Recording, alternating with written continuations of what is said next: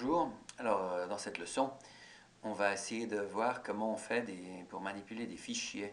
Alors, euh, un fichier, bah, c'est un fichier texte. En fait, c'est un fichier comme, euh, comme la liste de tous mes programmes en Python. Donc, ce qui est bien, c'est que comme c'est un langage interprété, le Python, bon, il faut avoir un peu l'esprit imaginatif, mais on peut imaginer un programme Python qui fabrique des programmes Python, puisque puisqu'ensuite ils pourront s'exécuter immédiatement par, par l'interpréteur. Euh, ce, qui est, assez sympa d'ailleurs, mais bon, euh, on appellerait ça de l'intelligence artificielle. Euh, donc, manipuler des fichiers, on va commencer par les fichiers texte, on va pas voir le reste. Alors, j'ai fait un petit exemple ici, ouvrir avec, je vais prendre mon petit éditeur favori, il est là. voici ce que, ce que j'ai dans mon fichier. donc, c'est un petit programme tout simple, création d'un fichier, écriture d'un texte. Euh, voilà, alors euh, en gros, en deux mots, je, vais peut-être commencer par. Euh, qu'est-ce que j'ai commencé par quoi? Ben, ouais, on va faire ligne par ligne. Alors d'abord, j'utilise la, fonction input pour demander à, l'utilisateur le nom de, la, du fichier, de mon fichier.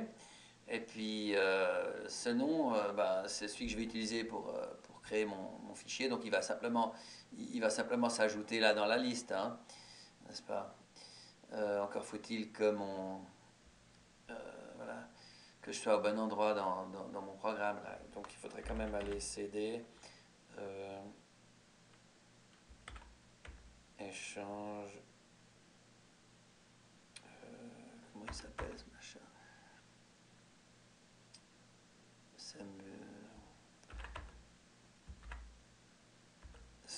cours.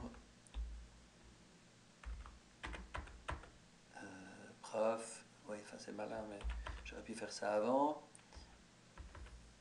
Euh, pour les formateurs, voilà. Et puis je suis au bon endroit. Euh.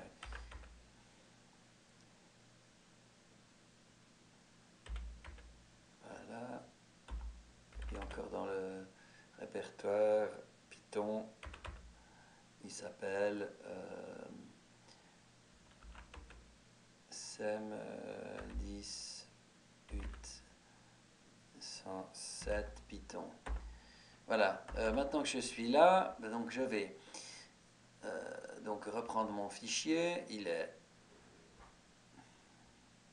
là, et puis je fais f égale open, donc c'est la fonction open qui permet d'ouvrir un fichier avec le nom euh, que j'ai introduit. Et puis W ici, c'est pour dire, ben voilà, j'ouvre en lecture, write, le W comme write.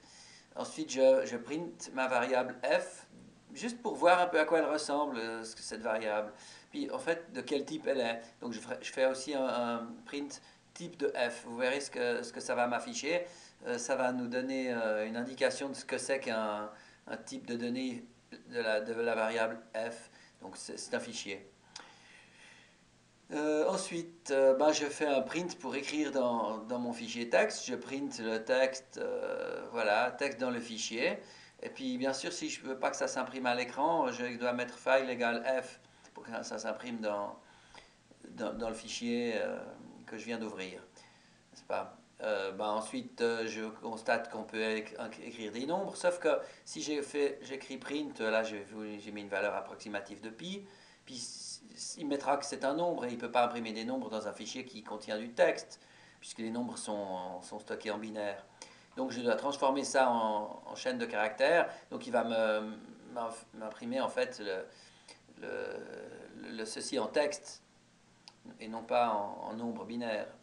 Puis ensuite je, ferme mon fichier avec euh, l'instruction fclose. Remarquez que f ici c'est le nom de, de la variable, hein, f.close. Euh, à partir de cet instant, je ne peux plus euh, imprimer dans mon fichier. Il est terminé. On va pouvoir voir son contenu. Alors, on va, déjà, on déjà faire tout ça. Et puis, on va voir ce que ça donne. Alors, voilà, depuis une fenêtre toute neuve. On va commencer par faire... Euh, Python 3. Puis on lance. Il s'appelle fichier.py. Alors il me demande le nom du fichier, je vais mettre euh, j. On va mettre .txt puisque par habitude généralement on met .txt pour les fichiers texte. Et puis euh, bah voilà, euh, il me met tout de suite, il met tout de suite io wrapper. Ça, c'est les prints, les deux prints que j'ai mis, n'est-ce pas?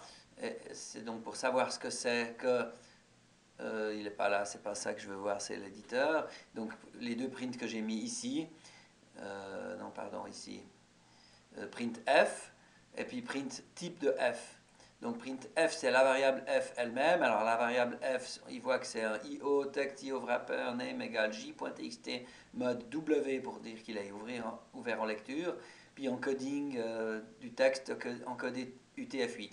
Remarquez qu'on pourrait changer ça, mais comme j'ai un système qui utilise le UTF-8, il utilise le codage de mon système. Si vous êtes avec Windows, il mettra autre chose, je pense. Euh, ensuite, euh, le, deuxième print, ben, il, me, dit que c'est une classe. En fait, on verra ce que c'est qu'une classe éventuellement dans la, quand on fera la programmation orientée objet dans le dernier chapitre de, cette formation. Bon, d'accord. Euh, pour le moment, on va faire arrêter le programme et puis on va examiner la suite. Ben, la suite, c'est déjà vérifier mon j.txt qui est là, n'est-ce pas? On va l'ouvrir avec Kate également. Et puis, euh, bah, ah bah tiens, bah, effectivement, ça me donne texte dans le fichier, puis la valeur de pi en, texte. Donc ça m'a bien imprimé euh, mon texte à la ligne suivante, 3.14. Donc ça, a bien fonctionné. Mon fichier j.txt euh, contient bien tout ça. Ok, on va continuer la suite. ajout de texte dans un fichier. Ajout de texte, bah, maintenant on va faire f égale open. On va réouvrir le fichier exactement comme tout à l'heure ici, mais la seule différence, c'est le W ici. J'ai maintenant mis un A à la place. Un A, c'est pour ajouter du texte dans un fichier déjà existant, et euh, ça l'ajoute en, bout de fichier. Donc, euh, parce qu'effectivement, avec le W, euh, vous partez avec un fichier tout neuf, tout, vide. Donc, je vais faire une nouvelle ligne où j'écris dedans le, texte que je demande à l'utilisateur, texte à ajouter. Euh, puis ensuite euh, F, euh, j'imprime T, je fais un input et puis j'imprime le, texte à ajouter. Donc je vais essayer ça. ici, je recommence Python, nom du fichier, je vais toujours prendre le même, puisqu'il existe déjà. N'est-ce pas? Euh, normalement, il met le texte à ajouter cette fois. Je vais essayer. J'ajoute une série de n'importe quoi, de Y. N'est-ce pas? Et puis, et puis ça marche. Euh, la suite, je ne l'ai pas encore examinée. Hein. Alors donc, je vais examiner ça en réouvrant mon j.txt qui est là. Euh, en fait, peut-être qu'il faut d'abord le fermer. Parce que, oui, je l'ai déjà fermé. Donc, effectivement, on va recliquer sur ouvrir avec Kate. Et puis, on a effectivement, cette fois, il y a mes Y, Y, Y qui se sont, qui se sont mis en beau. D'accord? Ça marche. Après, qu'est-ce que je vais faire? Ben, Je vais faire une relecture de mon fichier, parce qu'il faut quand même euh, savoir faire une lecture. Alors, lecture de texte dans un fichier. Alors, je refais un, open, mais cette fois, je mets un R. R pour dire read, donc lecture. Puis après, ben, je peux lire le fichier soit ligne par ligne, avec euh, t égale f readline, ou bien lire tout le fichier d'un coup dans une seule variable, alors ça sera un grand tableau de texte, et puis euh, je fais t égale f.read simplement. Alors là, je vais essayer de faire d'abord donc readline, puis j'imprime print avec un 1 pour dire que la première ligne contient le texte t que je viens de lire ici, avec cette variable-là. J'imprime t. Et puis ensuite, j'imprime la suite de tout le fichier. Alors c'est bien ce que j'ai ici. Ça m'a écrit 1. Bah, la première ligne, elle contient un texte dans le fichier. Puis la suite, bah, c'est tout ça. Effectivement, on peut constater que si je regarde mon éditeur de texte Kate, euh, il contient bien euh, texte dans le fichier. Puis la suite, c'est quoi? Bah, La suite, c'est ces deux lignes-là. Donc je sais bien ce, que ce qui est imprimé là. Ça fonctionne. Bien, bah merci de m'avoir écouté. Je crois que vous allez pouvoir essayer les petits exercices.